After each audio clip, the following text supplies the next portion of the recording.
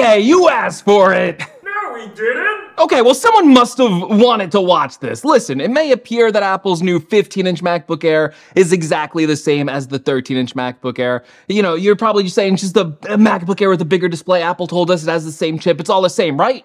Well, there's actually some real world differences you need to know about that may actually have you picking the bigger laptop, even if you prefer the smaller display size of the 13 inch MacBook Air because believe it or not, despite having the same M2 chip, this 15 inch laptop might just have a performance advantage. So let's go over all the differences between the 13 and the 15 inch MacBook Air. And the first difference is obvious, but I gotta go over it because some people can't tell their left from their right, okay? So yes, I'm gonna spell it out for you, right?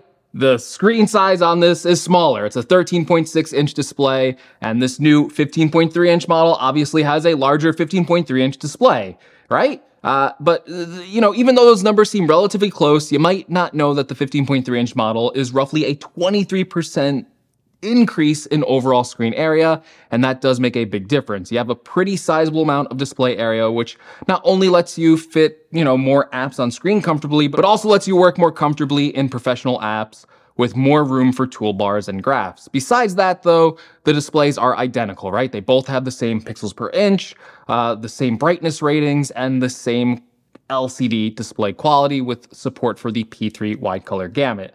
Now, there are some trade-offs and advantages, though, by picking the uh, smaller or the larger model, right? The biggest advantage that the 13 inch model has is, well, it's obviously more portable. It weighs less at just 2.7 pounds compared to the 15 inches, 3.3 pounds, and the overall dimensions are smaller than the 15 inch. So this laptop, the 13 inch model, takes up less space in a bag or on a cafe table. But credit where credit is due, right? Even though the 15 inch is larger, it is still very portable for a laptop. And there is just a small increase in overall thickness on the 15 inch model, but Apple claims that it's still the thinnest 15 inch laptop ever. And it is pretty thin. This is pretty lightweight and pretty portable for a 15 inch laptop. Now, one thing is that the trackpad on the 15 inch is larger than what is offered on the 13 inch model, which I guess is kind of, you know, personal preference. I mean, honestly, they're they're not that bigger, but I said I'd list all the differences. So there's plenty of room on both trackpads to scroll or do all of the uh, Mac gestures. Now, one difference that's not really that obvious when looking at both of these laptops is the speaker quality. Now, it's strange because you look at both of these laptops, you see that they both don't have any speaker grilles on the side, and I think it would be fair to assume that both of these speakers are going to sound the same, or at least they both have like the same number of speakers in them. But that's not true. The 15-inch MacBook Air, because it does have uh, the larger body does actually have more room for a better speaker system than the 13 inch model. The 15 inch MacBook Air is equipped with a six speaker system, while the 13 inch has a smaller four speaker system. And there is quite a difference in the speaker quality between both of these devices. The 15 inch is not only louder, but it provides more clarity and less distortion at higher volumes and has a deeper bass than the 13 inch model.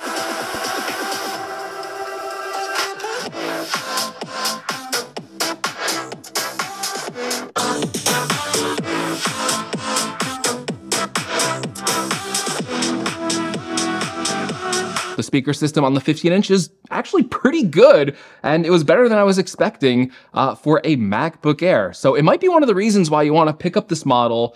Uh, besides just having a bigger display, there's there's better audio quality in this laptop. But let's give some credit to the 13 inch, right?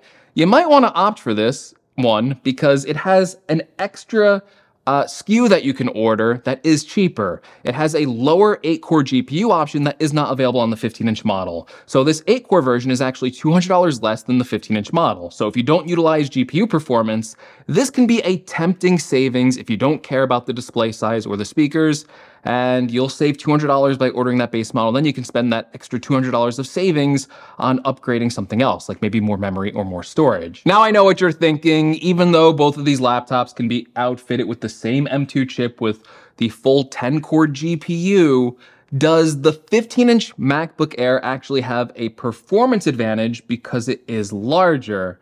And at first you might think no, because both of these laptops don't have a spinning fan inside of them, but there's more to that. So let's look at a simple benchmark like Geekbench, and we can see that the 15-inch Air actually does manage to score just a bit higher in single-core and multi-core performance, but it, it is pretty close. It's well within the margin of error, and these scores make sense, right? Geekbench doesn't hit the processor too long, and the M2 chip in both of these machines should perform pretty similarly for short burst workloads.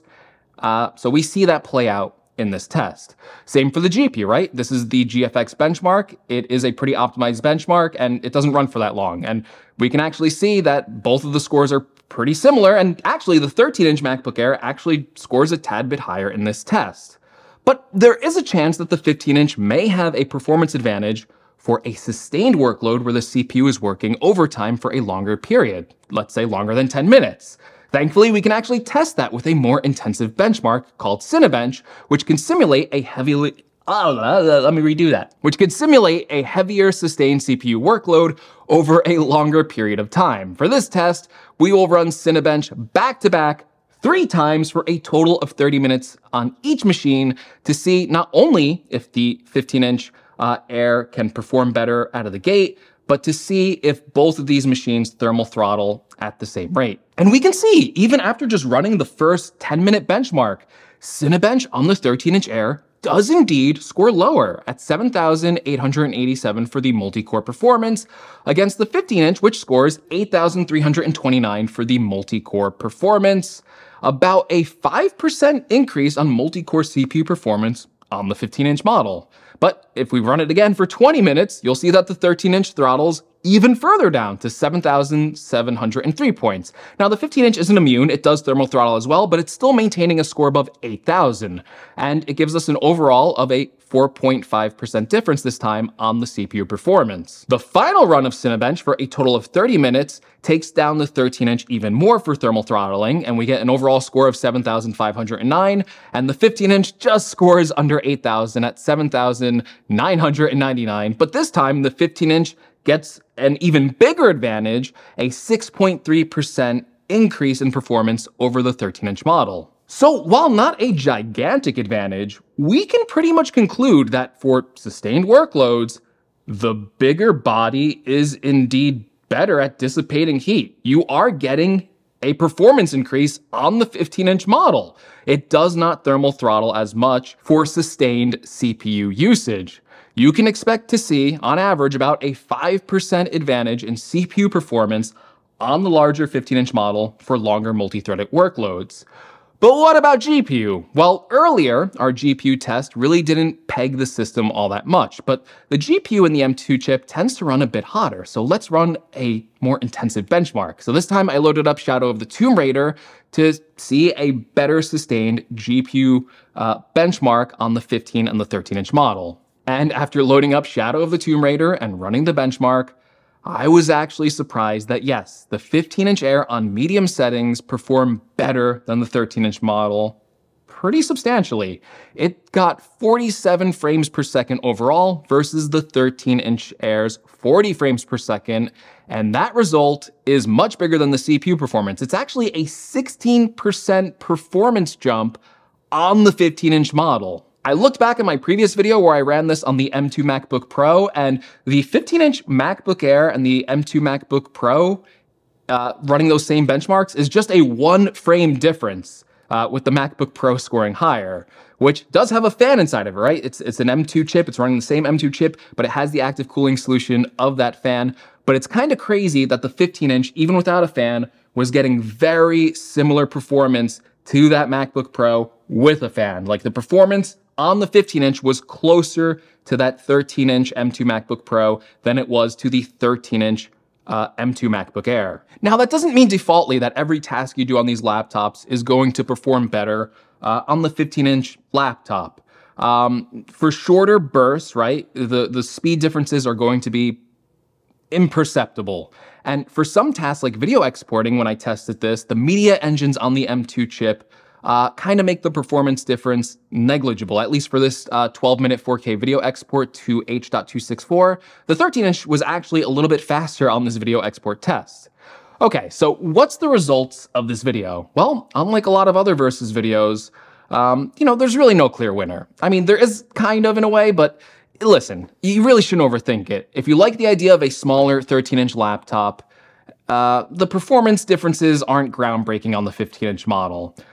Like if you want a smaller laptop, get the smaller laptop. Don't feel bad about it. This is a this is still a great machine, and, a, and it's a really it's a way better value now that it uh, dropped in price by $100. But on the other hand, there are actually some real world benefits uh, besides a bigger screen by going for the 15 inch model. You will get slightly faster multi-threaded CPU performance and faster sustained GPU performance, and the enhanced speakers on this model make this an excellent entertainment laptop for watching videos or listening to music.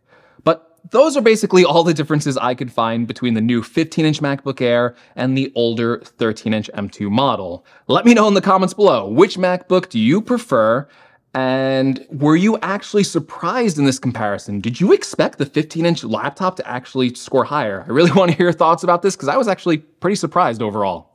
As always, if you found this video helpful, show your support by uh, giving me a like and uh, subscribe to me if you want to see more.